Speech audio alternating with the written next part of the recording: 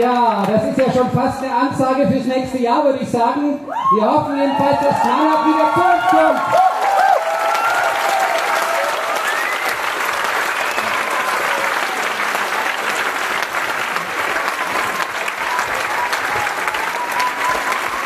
So, aber wir sind ja noch gar nicht fertig heute.